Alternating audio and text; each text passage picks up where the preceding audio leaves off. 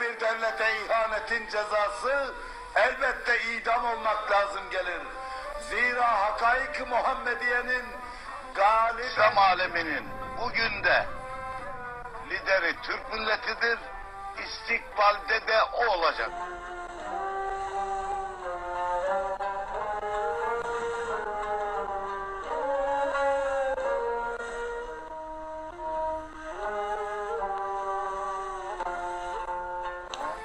Devlete ihanetin cezası elbette idam olmak lazım gelir. Zira hakaik Muhammediye'nin galip İslam aleminin bugün de lideri Türk milletidir. İstikbalde de o olacak.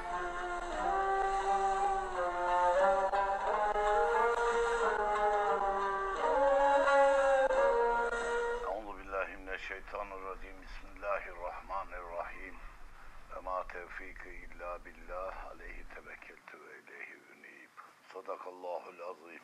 Arkadaşlar